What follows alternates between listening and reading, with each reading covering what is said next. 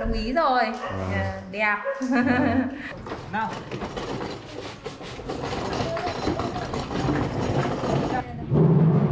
Cái tựa là trong vào trong đấy. Cao cao. Dạ, dạ, dạ, dạ.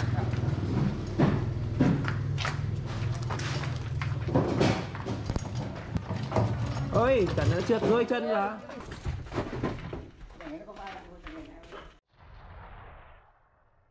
Vâng, đồ gỗ tung tám xin kính chào các bác nhá. Vâng, hiện tại là 10 giờ của ngày à, 12 tháng 12 năm 2021 đấy. Vâng, em đang có mặt tại khu 1 của xã Quang Húc, huyện Tam Nông. Vâng, để bàn giao cho nhà anh à, Tích Cường một à, số đồ nội thất trong nhà phòng khách đây. Vâng, Còn thấy đây trên ảnh quý vị nhìn đây là toàn bộ khu ngôi biệt thự của nhà anh Tích Cường này.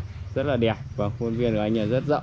Vâng thì em đang quay sơ qua mặt tiền của nhà bác đây rất là đẹp nhá. Vâng thì các bác cùng em đi vào bên trong để tham khảo một số nội thất em vừa bàn giao nhá. Vâng xem có gì là khác lạ không nhá. Ở đây ngôi nhà rất chi là đẹp, chi là đẹp các bạn. Và đây là toàn bộ không gian phòng khách của nhà bác Cai Tích Cường đây. Và em vừa bàn giao là một bộ ghế tần thủy hòa và cột 14 đây. Chất liệu là gỗ hương đá kèm với chiếc kệ tivi và đồng hồ tứ trụ và cùng à, chất liệu gỗ hương đá tất.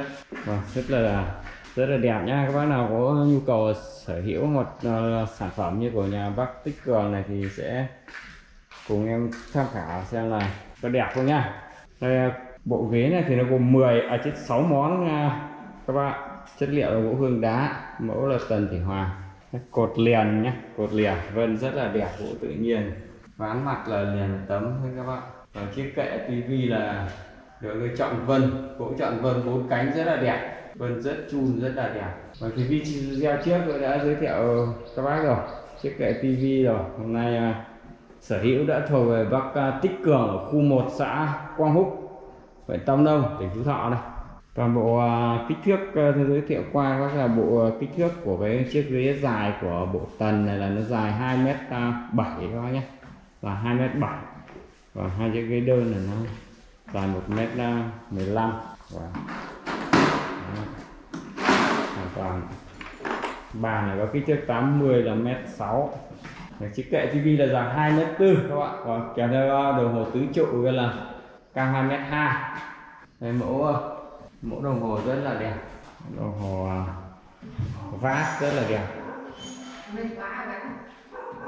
Cái phòng khách này nó nó khoảng bao nhiêu mét vuông chị 25 mét nhỉ 25 mét vuông thì à, quá trình chị đã lên đặt đồ tại cơ sở em đến nay à, xong thì em đã làm bàn giao thì chị à, cho em ý kiến nhau có có hài lòng không ạ? Có được như